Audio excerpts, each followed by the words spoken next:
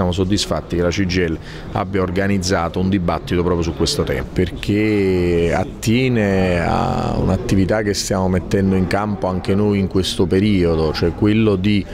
lavorare concretamente ad un'unica grande azienda di igiene urbana della città metropolitana che metta insieme le attività di smaltimento ma soprattutto le attività dell'impiantistica della città metropolitana,